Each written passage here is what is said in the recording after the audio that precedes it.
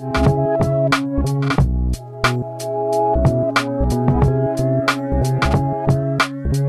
me Kavi from Maya Dance Theatre. We've been established from 2007. Uh, having a long journey in terms of uh, understanding dance and wanting to bring the uh, contemporary uh, perspective to Asian dance form, we began. But then in 2016, we realized that we're more interested in addressing social issues uh, and bringing social stories. And so we transformed ourselves uh, from 2016 through the Pancha series to talk a lot about uh, social issues. Then in 2018, you know, a company goes through transformation all the time. If it's going to be the same, then I get bored.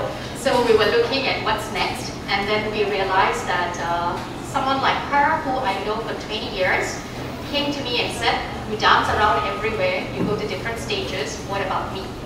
Right? So where do I go? So where do I know her from?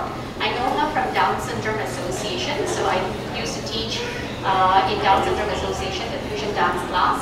They do a lot of performances, but she personally wanted to be in a professional space, just like myself. She wanted to go to preschool, just like myself, to teach. And she wanted to be using dance as an expression, as a communication. So she said, you know, what's next? So I will leave uh, myself to give her opportunity to talk about herself later. And now we will move on to just share with you what does inclusive means to us in DADC, which means Diverse Abilities Dance Collective.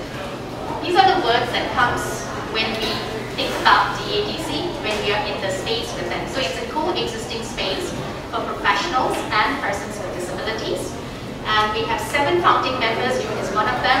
There's a lot of smiles, fun, enriching of lives and um, embracing one another, potential to push. They push us, we push them. And there's passion, of course. Otherwise, you know, they don't come on a weekly basis to be with us and say, let's do this. And there's a lot of inclusiveness. Not just from disability perspective, as we keep sharing, you can understand that even seniors have joined our space recently.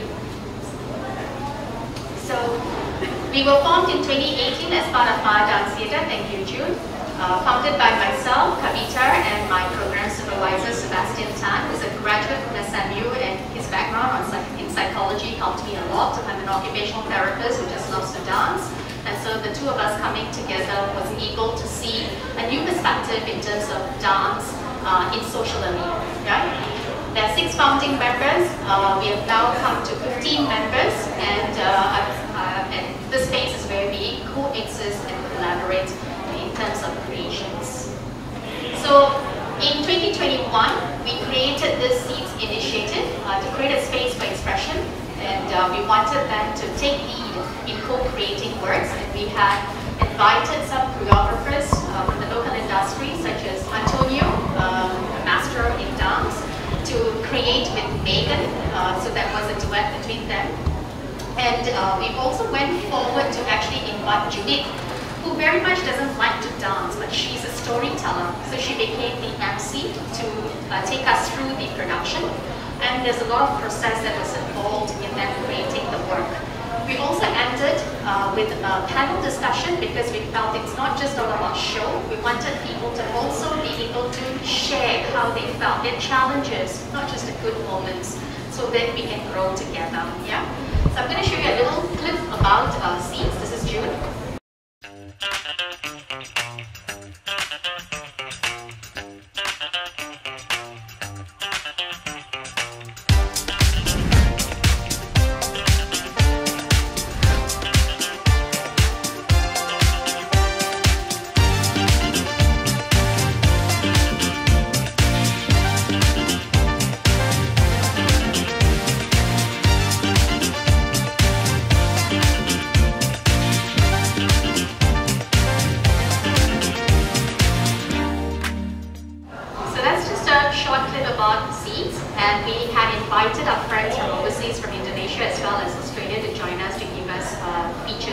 Works as well. We're doing another one next year, SEEDS uh, 2.0 and uh, we are inviting uh, other local choreographers such as Hao as well as Melissa Quek to join us in exploring this space with them. this is a program that I really wanted to share because inclusive didn't mean just persons with disability, it meant everyone. And here the seniors came along with us. This is Shamira, she's 74, and Dexter, 81. And they worked with them to create this uh, program called Body in Motion, Creative Movement for Seniors by Seniors together with dancers from DADC.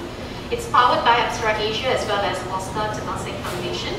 Um, it started off because we were all stuck at home, right, during COVID period. What do we do? We couldn't get to meet each other. We were already facing the isolation and they were facing it largely. So when came a point of discussion, like who else could be going through this uh, isolation, this loneliness, and they identified and said maybe seniors, you know, older people are feeling dissociated because they cannot communicate with us, they cannot connect with us. And so we then gathered their thoughts and came up with this idea to create digital movement program that which we could send to different nursing homes as well as disability homes to uh, for them to actually use it in their respite time for the staff to follow us. Uh, so this is accessible from Maya Dance Theatre's website. If you just go to our website and click on Body in Motion, you can move along with us. We were pleasantly surprised to hear lately that some uh, parents actually got their children to move with their grandparents when they were at home together. So it has gone on a different track from the first idea of doing it for people who are in nursing homes. Moving forward.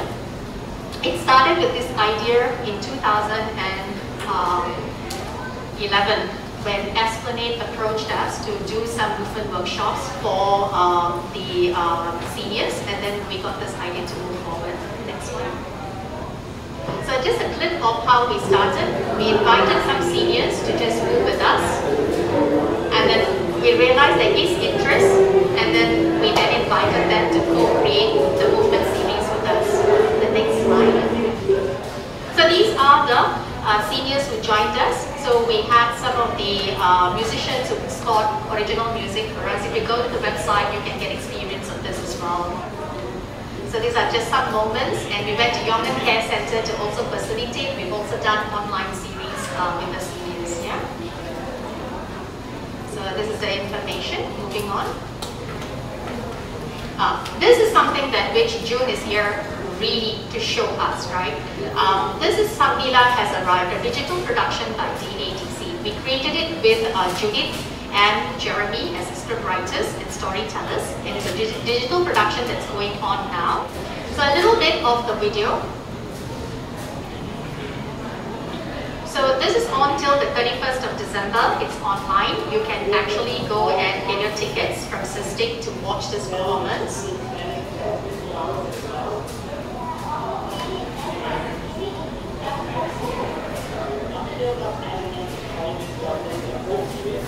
just a snippet of it. It's okay. Judith came up with this story when we were in isolation. So when we were together in online, she came and she said, okay, look, I went to the Bicentennial and I'm tired of just talking and asking how are you today because I never get to go out. I never even got to go to the supermarket. So let's talk about something that excited me, which is Sang Nila Utama's story. So she created the story online and then we decided, okay, let's take this story and make it into a digital production. So most of the time, the ideas do come from our partners who are in DADC with us. This is inclusive idea concept for us, yes? Just from the very start to think about they exist in the space together with us, and so they will have a voice in whatever decisions we want to make together, yeah? A little clip of this video I'm not going to show you all, just to give you an idea of how multimedia, multimedia worked in the space how they negotiated with two children performers. Uh, there are two child, children performers who are performing together with us, and that's June. And we have professionals in the work as well. Yeah, stop here. June, can we take this time to show them the movement? But before that, you want to introduce yourself? Yeah, Hi everyone, my name, is June I'm from DDC Dancers. I can show you how to Okay, I can start with on. Yeah. So June is going to give us a little sample of the video that you just saw. Her waves movement. This is not choreographed. She created it herself. Yeah. And why you can wonder why there's a pink color uh, wave. June, why do we have a pink wave? This is my favorite color. Uh, her favorite color. All right, so it's fine. We can have a pink wave, right? So we have a blue, the actual, and the pink that is June's favorite choice.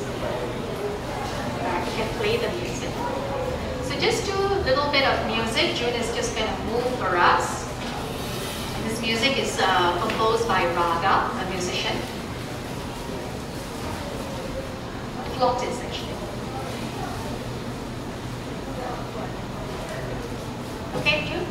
Yeah. Yeah.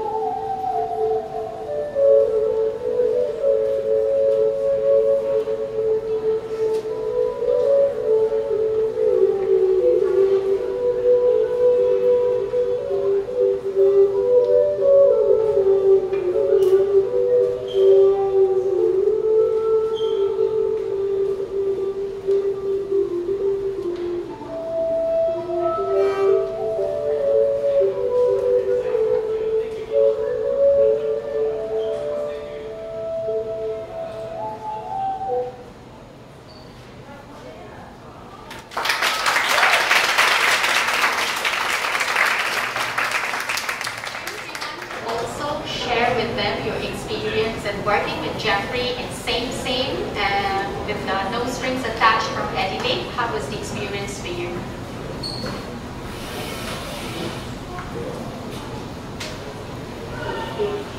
If I work with project, we working, um, I find very enjoyable and follow the music. How was the moment in terms of emotion for you?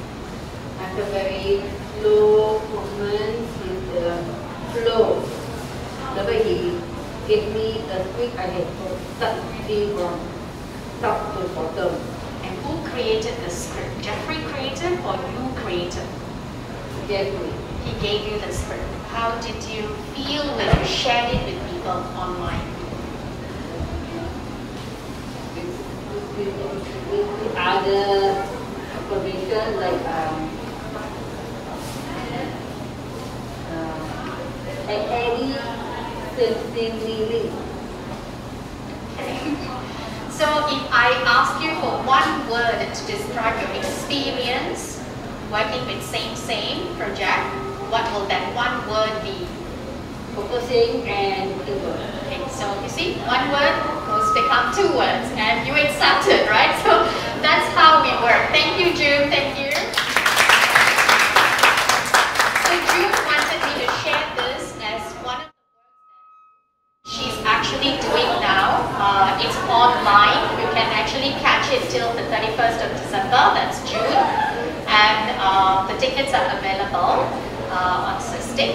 But I think what's most important about this work for us is that um, people like June could come and join us and coexist in the space. So if any one of you here have the talent and want to actually experience that opportunity of sharing that talent with them, please do look out for DADC. We have an upcoming audition for the Elevate Dance program. But other than that, anyone and everyone is invited in our space to jam along with myself and June and all our other friends who are at DADC. With that, I'd like to say a big thank you to Jeffrey to have invited myself and June and to all of you for giving us this opportunity to share. We really very much come with lots of passion. Thank you. Thank you.